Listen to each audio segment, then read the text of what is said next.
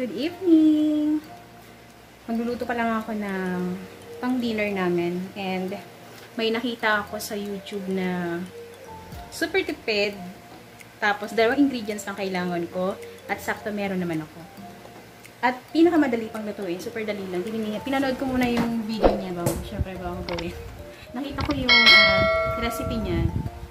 Feeling ko naman makakain naman ng anak ko. So, ayan, try na natin. Marami nang nag-try nito at sabi masarap daw. So, ako lang, hindi ko sure. Ngayon ko pa lang siya ta-try. Nagtutorta tayo ng sayote.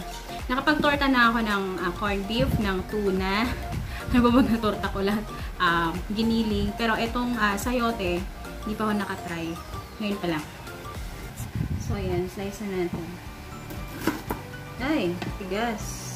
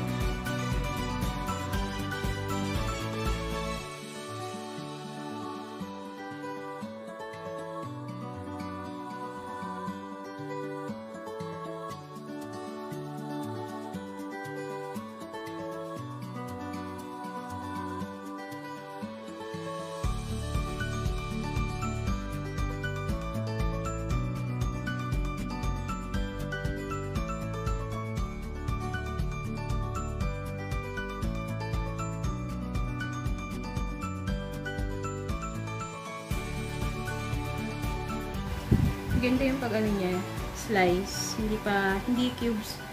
Pag ano, manipis. Parang french fries style.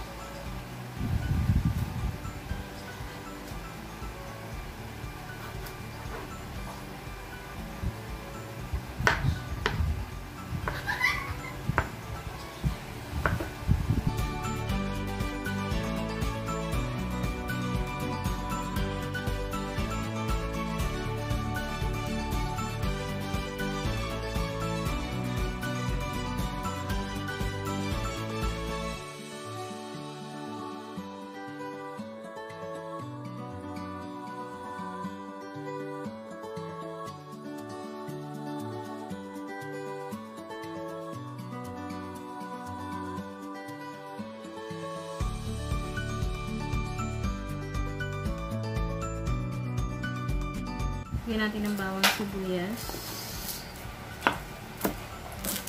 Kasi igigisa muna yan bago natin itutorta para medyo luto-luto ng konti yung gulay.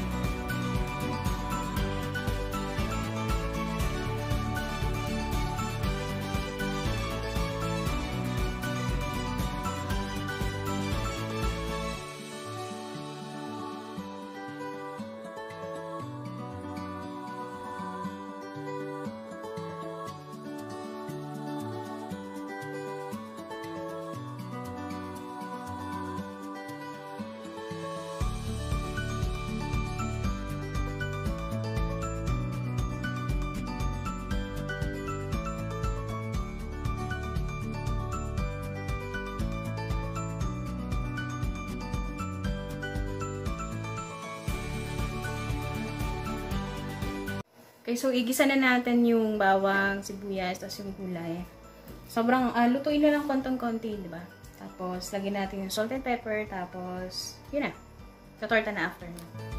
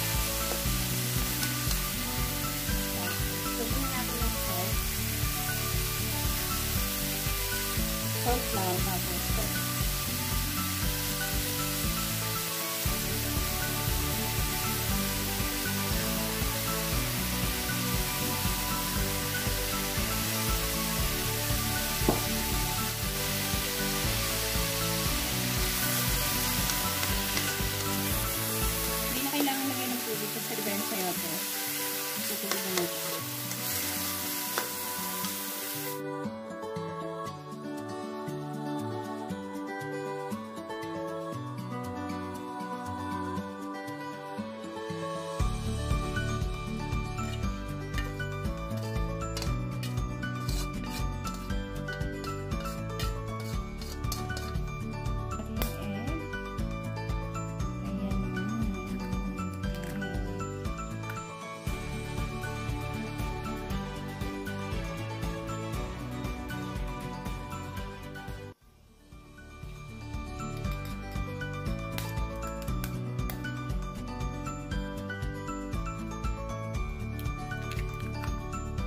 Diba siya? So,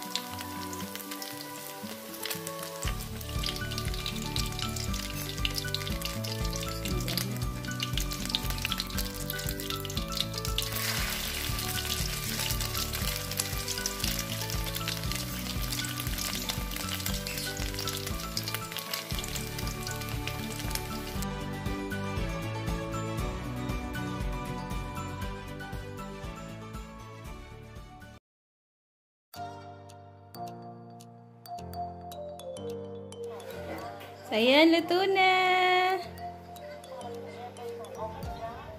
Ayan. Luto na! Yay! Ito na.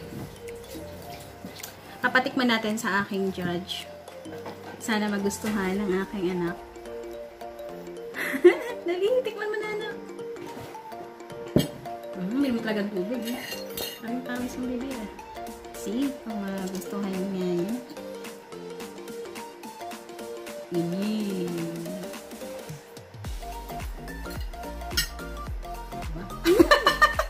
Umiikot pa yun. Ano, sarap? Yun. Sayote, tapos egg, tapos mga ano lang, may mga nasa kusina lang naman. Sibuyas, bawang, yun, paminta, asin, yun lang, and then oil. Sa ulam, super tipid na ulam. Uh, thank you so much sa lahat, na, sa lahat ng nanood and see you again next time. Bye-bye. Bye! -bye.